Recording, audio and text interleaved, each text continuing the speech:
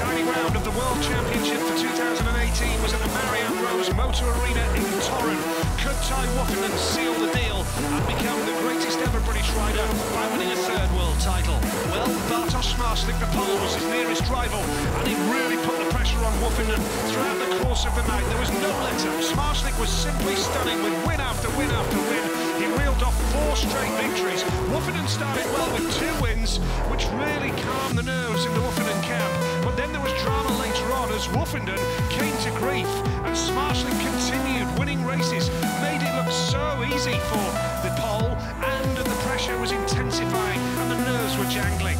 One or two awkward crashes, Vaclav Milik, the uh, injury replacement, came in and this is where Woffinden lost it. He was excluded for that and the big fear was that he may have been hurt by landing on his shoulder.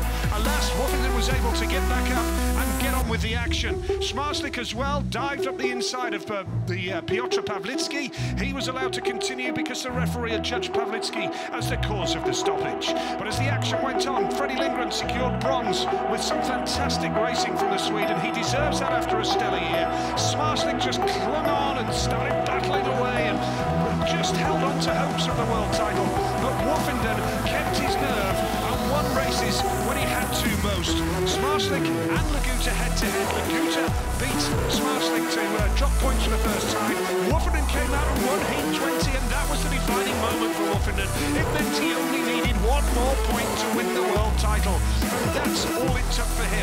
Lindgren kicked on, notched the bronze medal, but in semi-final two, it was Tai Woffinden who edged out Zmarzlik, got the points on the board, and he became world speedway champion. But there was still more to come. The final itself, and Woffinden the easy way, the stunning way, by winning the final. Wins on the night, wins the world championship. A great year and a